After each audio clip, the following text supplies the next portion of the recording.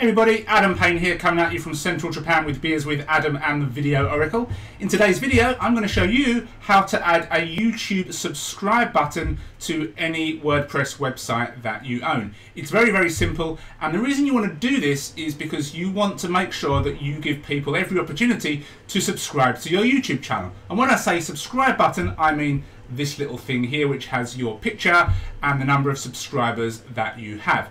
Now if we come over here to one of my websites, the Beers with Adam website, you can see that I have it in here. I should probably have a little bit of a call to action here which actually tells people that they should click the button in order to subscribe. But you can put this little image on thank you pages, in blog posts, blog pages, sidebars, um, it's very important that you do that because people are going to come to your content not just only on YouTube but on your websites as well.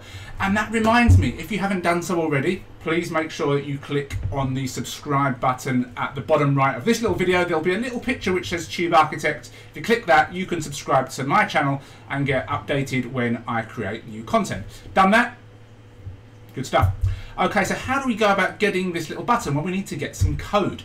And we want to come to this website here. Now, uh, the long URL is developers.google.com forward slash YouTube forward slash YouTube forward slash subscribe forward slash. It's not even forward slash, it's underscore. I've even got the URL wrong. So forget about remembering it.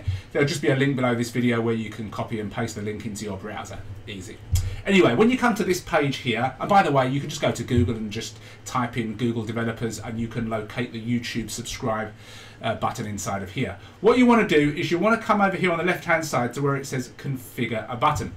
And you want to grab your YouTube channel ID. How do you get that, you ask? Well, you come over here and you basically log into your YouTube channel. You want to hit your little Creator Studio button here. So you're going to hit Creator Studio. That's going to bring you to this page. And then you can hit View Channel. When you view your channel, it will say at the top youtube.com forward slash user forward slash your YouTube channel ID. Now, if you already branded this with a vanity URL, you probably know what it is already, but for a lot of people, it may just be a bunch of numbers and letters and so on and so forth. It doesn't matter. Whatever it is, copy it, come over here, paste it in here and press enter, and it'll appear down here. Now, you can change the design of this little button if you want.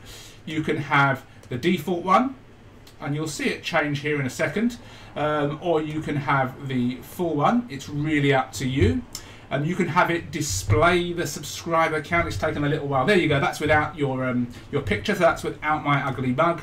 But I want my ugly face to be shown um, so people can see exactly who I am. You can make it dark. You can play around with this. You can make it dark, make it light. You can show your subscriber count or you can hide it. It's really up to you. When you're ready, you get given some code. Now, it will automatically populate in this box. You want to copy this code and you want to come over to wherever it is that you want to paste um, wherever it is you want the button to show. So that could be in your sidebar of your blog blogging, a little text widget.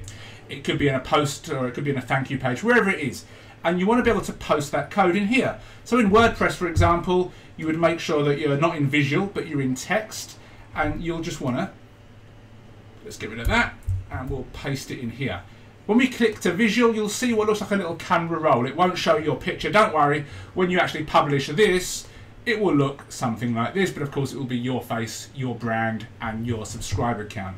And that's all there is to it. It's very, very simple, but you want to make sure that you give people ample opportunities to subscribe to your channel, not only on your videos, but on your content as well. Which reminds me, if you haven't subscribed, if you ignored me before, make sure that you do subscribe by clicking the subscribe little button in the bottom right of this video. With that being said, thank you for watching, and I'll speak to you soon. Take care.